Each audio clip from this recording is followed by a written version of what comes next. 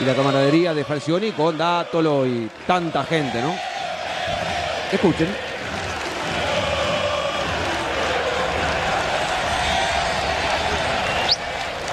Falcioni que había